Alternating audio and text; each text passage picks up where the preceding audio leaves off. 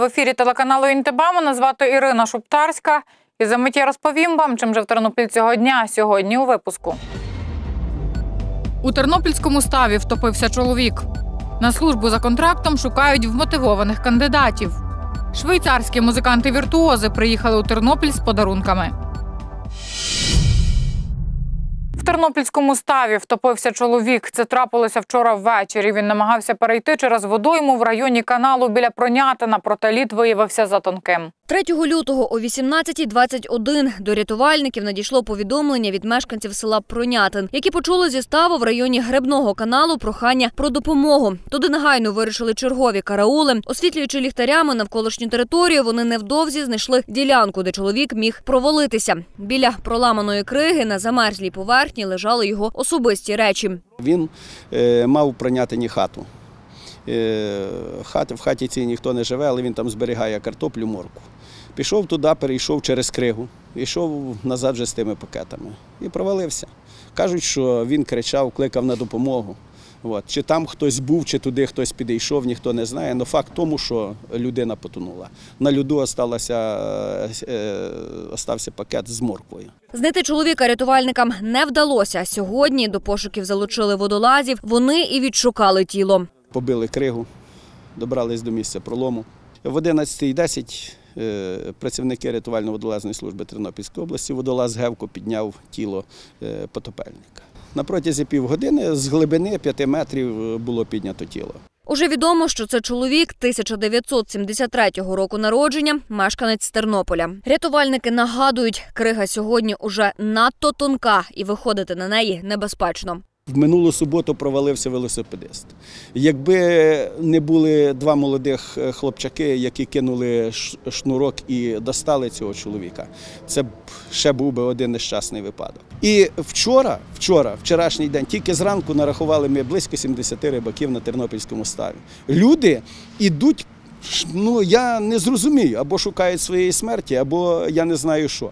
Ми вкотре закликаємо. Будьте обережні, не йдіть на ту кригу. Навіть якщо ви вже йдете, вдівайтеся в рятувальний жилет. За перший місяць нового року вже чотири людини загинули на водоймах в області. Представники ОСББ зустрілися з міським головою, аби обговорити актуальні питання, які накопичились впродовж року, зокрема земельні, законодавчі та інші, які стосуються життєдіяльності об'єднань співвласників багатоквартирних будинків. Е, Сьогодні основне питання це було, як правильно оформити земельну ділянку, закріпити за об'єднанням співвласників, як захистити свій двір від того, щоб не було якоїсь незаконної забудови. Е, Є ряд цікавих пропозицій, які пропонують представники ОСББ внести зміну до програми, яку вже міська рада прийняла стосовно підтримки об'єднаних співвласників. Я думаю, що ми за результатами цієї наради приймаємо також відповідні зміни і до програми. Ну є з- і є пані е, пропозиції, які були стосовно там прибирання території чи наведення порядку в- на прибудинкових територіях. То згідно цих доручень, завтрашнього дня наші фахівці почнуть працювати. Представники ОСББ таким діалогом задоволені. кажуть, подібні зустрічі проводитимуть періодично. Ми домовилися з міським головою, що у нас такі зустрічі тепер будуть проходити раз в півроку е, для того, щоб е, напрацювати спільні дії і спільно співпрацювати в подальшому. Тобто, щоб е, представники ОСББ і міська рада були одним цілим і були напрацьовані спільні рішення. Нагадаємо, тернополяни до 1 липня мають визначитися із управителем будинку, тобто створювати ОСББ чи залишитись на утриманні свого обслуговуючого підприємства. І знову про Ланівці. Там кілька місяців не вщухає конфлікт між частиною місцевих мешканців та одним із підприємств.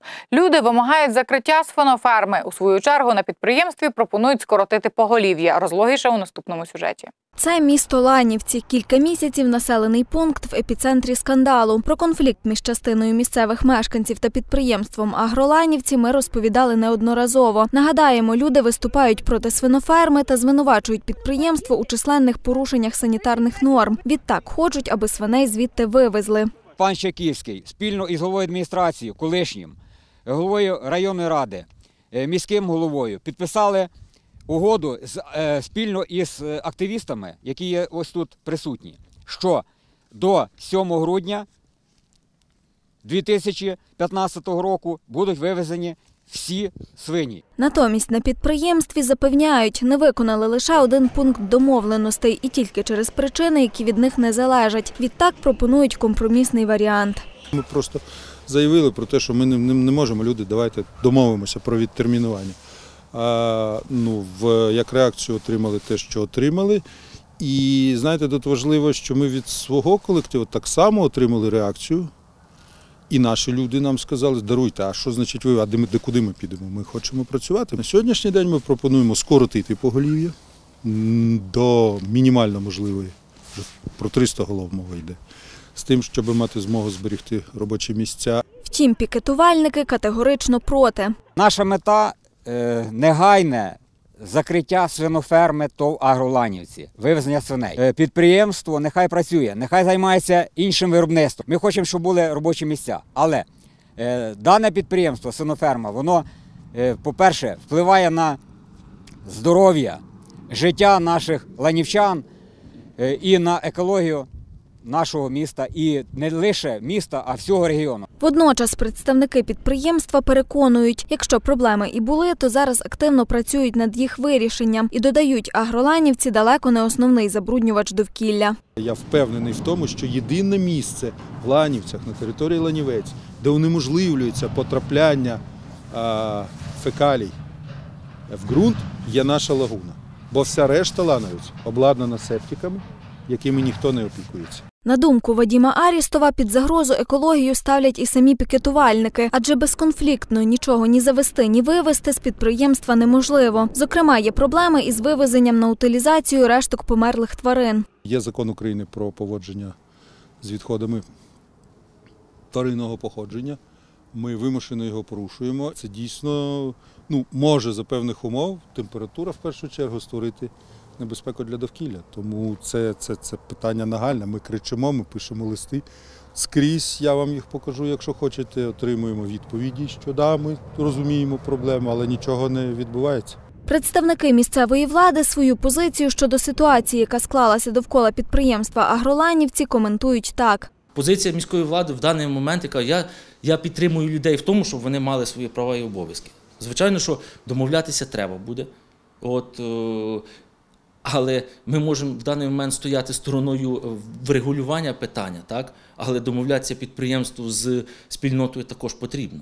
Треба враховувати те. Повинні працювати два основних напрямка, а ми врегулюємо їх в певному, в певному, в певній межі. На сьогоднішній день, скажімо, в райдержадміністрації ці немає контролюючих служб, які могли б значить, зробити певну перевірку значить, і зняти напругу чи е, провести дані питання у відповідне законне русло. Ми зараз працюємо з службами і САН, і ВЕТ, і інспекціями значить, обласними. Поки що ж конфлікт залишається невирішеним.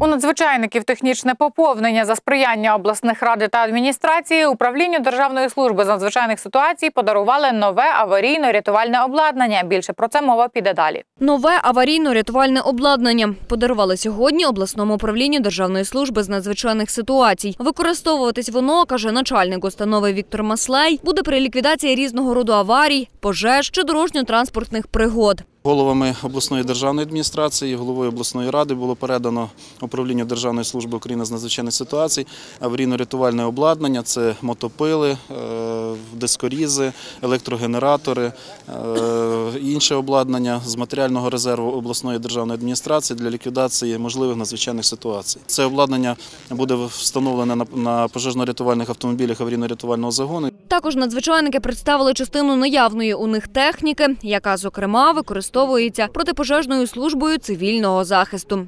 Було представлено піротехнічний підрозділ е, і його оснащення. Було представлено хімічний підрозділ з обладнанням на автомобілі Єльц, який був подарований нашими польськими колегами у грудні 2015 року. Крім цього, пожежний автомобіль е, сучасний на базі Газель, е, який по своїх технічних характеристиках практично може замінити зіли, які на сьогоднішній день на озброєнні є наших підрозділів. Начальник обласного управління каже, частину техніки подарували їм польські колеги, що у свою чергу суттєво зекономило витрати з державного бюджету. За 2015 рік ми отримали три автомобіля. Е, Це на шасі Івеко, на шасі Єльц і на шасі Фольксвагена. Е, Якщо брати загальну вартість е, техніки, яка була передана польськими колегами Тернопільському гарнізону, це буде десь більше ніж 15, е, 15 мільйонів гривень. Що стосується технічного забезпечення загалом, то каже начальник обласного управління, його все-таки частково не вистачає. На службу за контрактом у військовому комісаріаті шукають вмотивованих кандидатів. З нового року вступили в дію зміни до законодавства, які передбачають значне підвищення заробітної плати контрактникам. Чи достатня це мотивація? Дивіться далі. З 1 січня Україна стала ближчою до планів мати професійну армію із гідною оплатою. Грошове забезпечення військовослужбовцям за контрактом збільшили майже втричі. Про те, що це не міф, розповідає контрактник із 44-ї артбригади. Він свою оновлену зарплату вже отримав. Зарплата в мене була 3,5 тисячі гривень. Зараз е, отримав я першу заплатню в січні місяці 8 тисяч 422 гривні. Це вже дуже чемна зарплата і, як кажуть, хватає собі і для родини. Рядовий контрактник без досвіду та вищої освіти відтепер отримує мінімум 7 тисяч гривень в місяць. Також до цієї суми додають грошову допомогу під час відпустки та чималий соцпакет. В разі виникнення соціально-побутових умов, які можуть виникнути всіх в житті, так само надається одноразова допомога на соціально-побутові умови. Так само гарантується медичне забезпечення, санаторно-курортне лікування при потребі за військовослужбовцями, гарантоване пенсійне забезпечення. Тобто, якщо військовослужбовець вислужив 25 років, він гарантовано отримує пенсію як військовослужбовець. І соціальне страхування і медичне, як я вже наголошував. З вимог належний фізичний стан та вік від 18 і аж до 60 років. Щоправда, кажуть, хочуть побачити вмотивованих чоловіків, які справді мають бажання займатися військовою справою. А таких з нового року таки побільшало.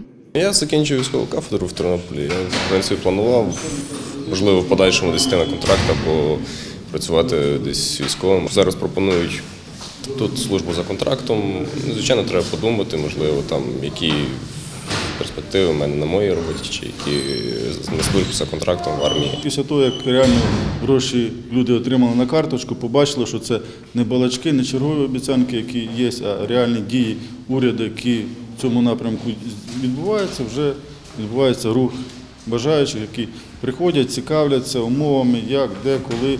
З кожним днем все більше і більше хлопців з'являється, тому що інформація доводиться. Щоправда, з 1 лютого з'явилося одне уточнення. Контрактники спершу повинні пройти обов'язкове навчання. І якщо для 18-річних це необхідність, то вже досвідчені бійці такої потреби не бачать. Валерій свій досвід отримував на сході як командир міномету. Був демобілізований, однак вирішив повернутися на службу вже за контрактом. Вирішили йти далі служити по контракту, однак не згодний з думкою Верховного Генерального штабу на рахунок того, що мене мають кудати, на- кудись направляти ще в якусь учебку на два місяці. Що там мене вже можуть навчити, коли я сам можу кого хоч навчити. Хоч навчальні центри уникнути не вдасться, Микола Бойко пояснює, зате кожен зможе вибрати, де йому залишитися потім. Військову службу можна проходити починаючи від військових комісаріатів, закінчуючи іншими військовими структурами, які є на території України. Тобто не замикається, що це тільки Тернопіль, як для нас, а можна так само і в Одесі, і Миколаїв, і Херсоні, і Львів, за бажанням військовослужбовця. Тому це є військова служба за контрактом, де військовослужбовець вибирає собі місце, де він себе бачить, і там, щоб реалізувати себе як уже чоловіка, як військовослужбовця. Наскільки ймовірною є сьома хвиля мобілізації, говорити у військкоматі не беруться. Кажуть, зараз більш важлива якість кандидатів, а вже потім кількість. Вони швейцарські музиканти-віртуози. Він родом з України, вона з Росії. У Тернопіль приїхали не лише з концертом, а й з благородною метою подарувати скрипки і безкоштовний майстер-клас. Подробиці в нашому сюжеті. Денис Северин, віолончеліст, професор двох вищих музичних шкіл у Швейцарії і президент Асоціації Мистецтво без кордонів. Вже не перший рік музикант зі своїми колегами гастролює по різних країнах з концертами і подарунками. Для нас привіз для музичних шкіл е, дві скрипочки, одну, яку, одну з яких передається першій музичній школі, а друга передається другій музичній школі.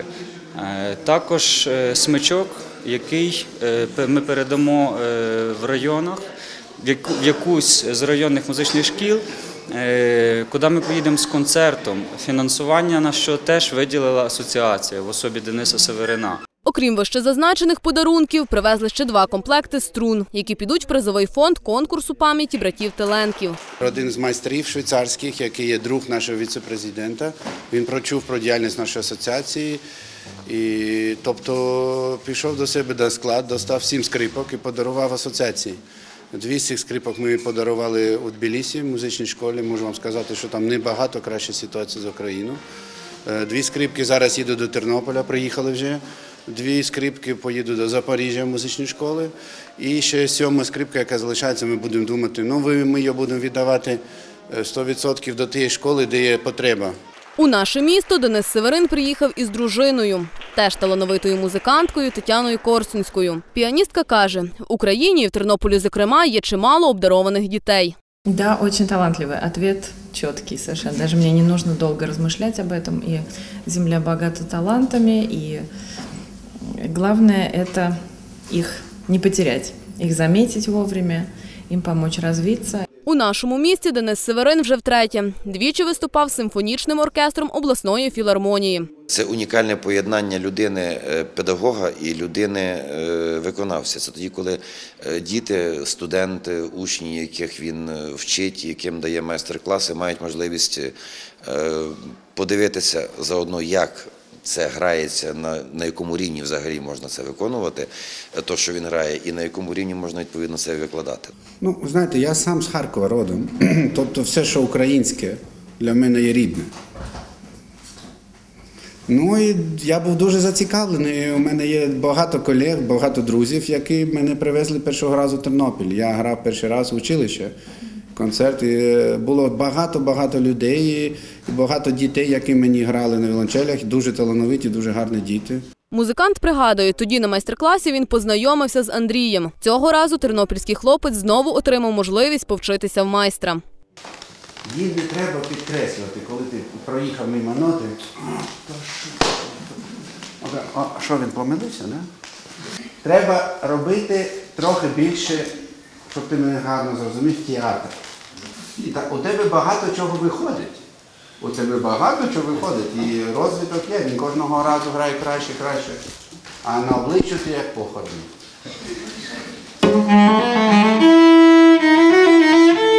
Звичайно, це були далеко не єдині поради і говорили як про техніку виконання твору, так і про вміння показати свою індивідуальність у ньому. До слова, Денис пообіцяв і надалі підтримувати юних тернопільських музикантів.